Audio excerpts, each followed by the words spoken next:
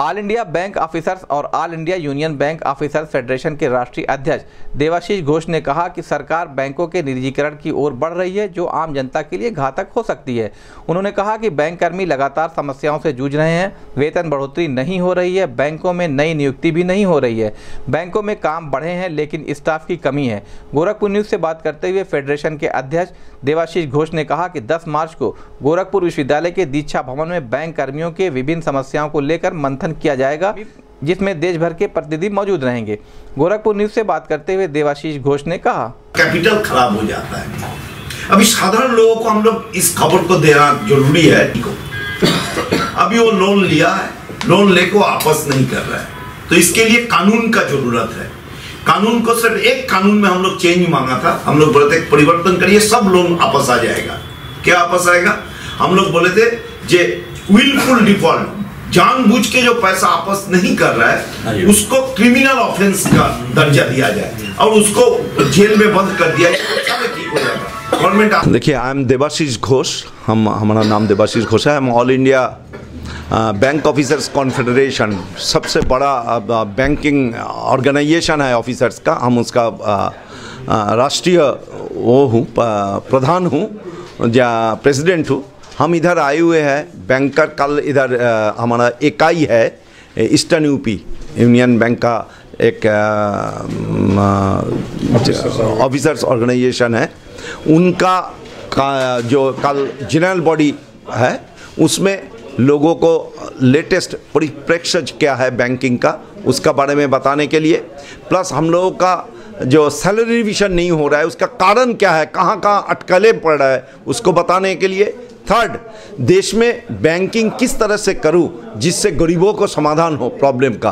क्योंकि ये सार्वजनिक बैंक है और इस बैंक को जो प्राइवेटाइज करने का जो नीति लिया है ये गवर्नमेंट वो कैसे अफेक्ट करेगा बैंकिंग को और साधारण लोगों को? व हमारा अर्थनीति का ऊपर, उसका ऊपर विचार विमर्श करने के लिए काल का प्रोग्राम है। क्या मुख्य समस्या है बैंक में?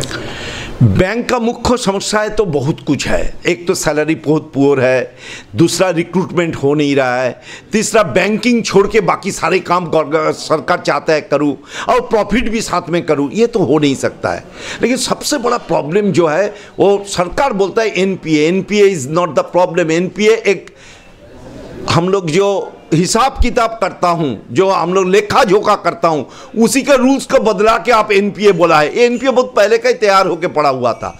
ये लोग उस समय क्या बोले थे? फिर दूसरे डोज दो, तीसरे डोज दो। ये कर करके इस एनपीए को बढ़ाया गया है।